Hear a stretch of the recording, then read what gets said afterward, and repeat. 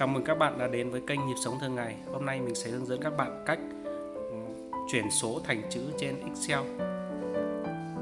Thứ nhất, các bạn vào ờ, trình duyệt web.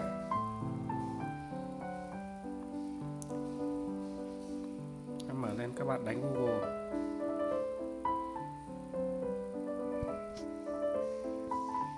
Bạn đánh chữ tải phần mềm.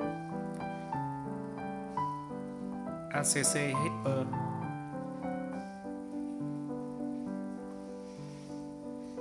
kích đúc chuột rồi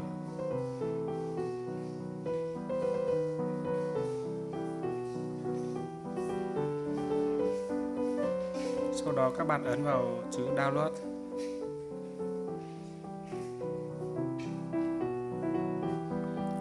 Vì mình đã tải rồi cho nên là mình lưu ở trên máy tính rồi. Nên bây giờ mình sẽ vào file vào file mình cài. Lúc mình tải về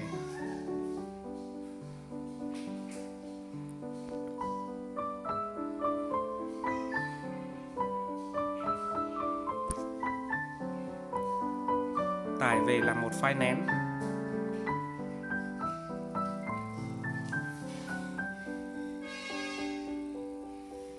tải về là một file nén chúng ta hãy giải nén ra.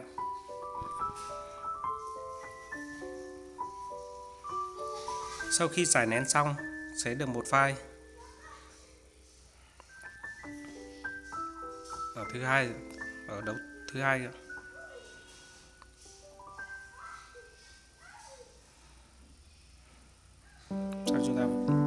xuống chúng ta vào Excel. Chúng ta mở phần Excel lên. Ở trong phần Excel này mình đang sử dụng là Office 365 phiên bản tiếng Việt, cho nên là nó sẽ có tiếng Việt. Chúng ta vào chỗ tùy chọn. Xong vào chỗ phần hỗ trợ, phần bổ trợ. Trong bổ trợ xong mình tích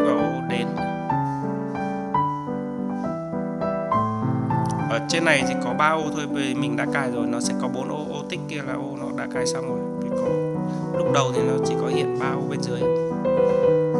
Chúng ta vào duyệt. Chúng ta tìm đến cái file mà lúc đấy mình giải nén ra.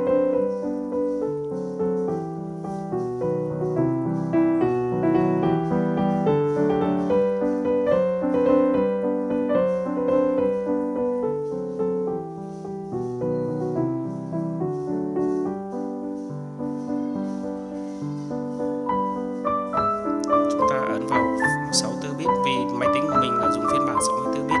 Còn ai dùng 32 bit thì mình sẽ tải lại file 32 bit lên. chúng ta mở lên. Vì mình đã cài rồi, nó sẽ báo là tập tin này sẽ trùng.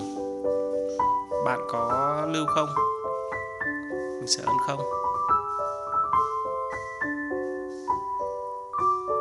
Rồi, chúng ta nhấn ok. Như thế là việc cài đặt đã cài đặt xong chúng ta vào bắt đầu vào để à, mở Excel lên và thử nghiệm xem nó đã cài đặt thành công hay chưa. Chúng ta vào trang tính.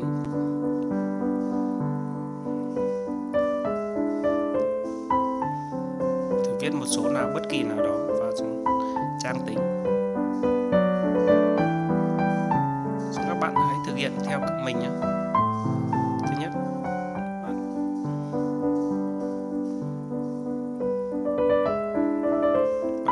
Bằng. Xong đánh chữ VND ở trong công thức nó cũng đã có sẵn.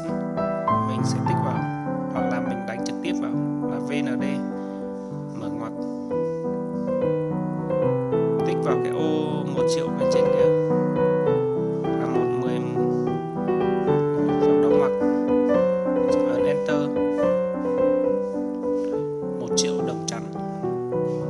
Nó đã ừ, như thế là đã cài đặt thành công.